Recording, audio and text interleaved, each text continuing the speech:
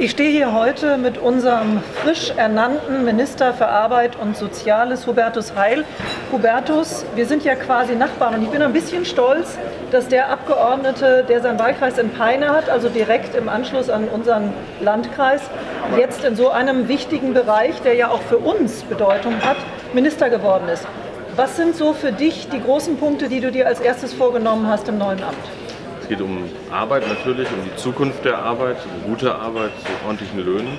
Aber Zukunft der Arbeit heißt vor allen Dingen dafür zu sorgen, dass im Zeitalter der Digitalisierung die Menschen Anschluss finden, Arbeit und Qualifikation dafür da ist. Es geht aber auch um soziale Sicherheit, um einen Sozialstaat, auf den die Menschen sich gerade in turbulenten Zeiten verlassen können. Ähm, wenn es zum Beispiel um die Rente geht, es wird eine wesentliche Aufgabe sein, das Rentenniveau zu stabilisieren. Und am Ende des Tages geht es um gesellschaftlichen Zusammenhalt, um ein Land, in dem alle Menschen die gleichen Chancen haben, teilzuhaben am Wohlstand des Landes. Also das wird eine Riesenaufgabe, ich freue mich drauf. Wir haben uns viel vorgenommen in den nächsten Jahren. Und es wird auch unserer Heimatregion zugutekommen, weil Gifhorn und Peine, mein Wahlkreis, Celle-Uelzen, dein Wahlkreis, Regionen sind, die strukturelle Unterstützung brauchen in den nächsten Jahren, in denen die Menschen Perspektive brauchen, in denen sich auch viel verändern wird. Und da werden wir als Sozialdemokraten, ich auch als Arbeits- und Sozialminister meinen Beitrag leisten. Ich freue mich drauf. Ähm, du hast ein paar wichtige Sachen angesprochen. Das eine ist Rente. Und wir haben ja im Koalitionsvertrag was äh, verabschiedet, was es vorher noch nie gab, dass wir eine Reform machen wollen, die auch für alle die gilt, die jetzt schon Rentner und Rentnerinnen sind. Da werde ich ganz oft im Wahlkreis darauf angesprochen. Da warten natürlich die Menschen, die betroffen sind, drauf.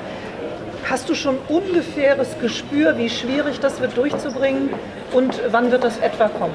Wir haben jetzt ein paar Dinge, die wir unmittelbar angehen werden. Das betrifft das Rückkehrrecht von äh, Teilzeit in Vollzeit. Das ist für viele Frauen wichtig, auch für die Altersvorsorge, weil viele in der Teilzeitfalle gefangen sind und dann auch schlechte Renten haben. Ähm, es geht jetzt unmittelbar auch an das äh, Sicherung des Rentenniveaus. Das ist ein ganz wesentliches Thema, dass das Rentenniveau nicht weiter absinkt. Wir werden auch eine Rentenkommission einsetzen für langfristige Perspektiven. Und dann haben wir das Thema Grundrente, dafür zu sorgen, dass diejenigen, die ihr Lebtag gearbeitet haben, äh, mehr in der Tasche haben und nicht durch niedrige Löhne nur auf Grundsicherungsniveau landen. Das sind Aufgaben, die brauchen, die letzte Aufgabe braucht ein bisschen Zeit, das wollen wir sehr sorgfältig machen. Ich bin zuversichtlich, dass wir uns auch da unmittelbar an die Arbeit machen. Das muss kommen. Ist eine Frage von Gerechtigkeit und Fairness und Sicherheit im Alter. Herzlichen Dank, Hubertus. Gut, dass ein Sozialdemokrat in diesem wichtigen Ministerium wieder dem Ganzen vorsteht.